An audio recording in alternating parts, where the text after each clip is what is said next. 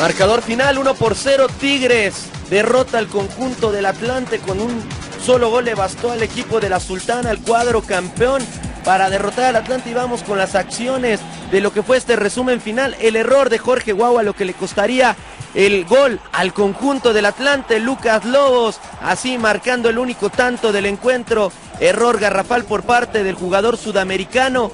Pierde el balón ahí y gol de campana. Armando Navarrete sin nada que hacer. Más llegadas por parte del cuadro felino vendría Alan Pulido ahí en el rechace y Armando Navarrete desviando para impedir el segundo tanto de la escuadra comandada por Ricardo Tuca Ferretti. Más llegadas para, las, para el conjunto regiomontano. Vendría Alberto Yoshimara Costa, disparo cerca del poste de Armando Navarrete y se salvaba el cuadro de los potros de hierro del Atlante.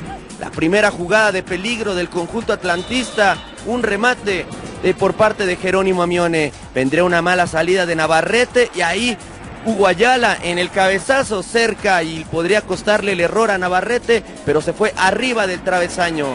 Ya en acciones del segundo tiempo vendría Michael Arroyo en su disparo y Enrique Palos de las pocas, de las pocas acciones que tuvo que intervenir el portero de los Tigres. Más llegadas por parte del cuadro regiomontano vendría Elías Hernández, un rechace, pulido, bombeado, arriba del poste defendido por parte de Armando Navarrete, cerca a la escuadra felina de conseguir el segundo tanto, más disparos en la cabaña azulgrana, que por suerte y por milagro pues no se llevaron más goles en lo que fue su visita al volcán.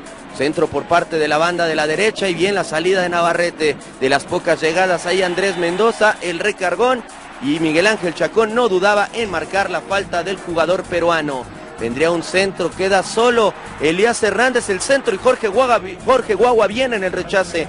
Más llegadas por parte de la escuadra felina. Ahí en el intento disparo arriba de travesaño por parte de Alan Pulido. Vamos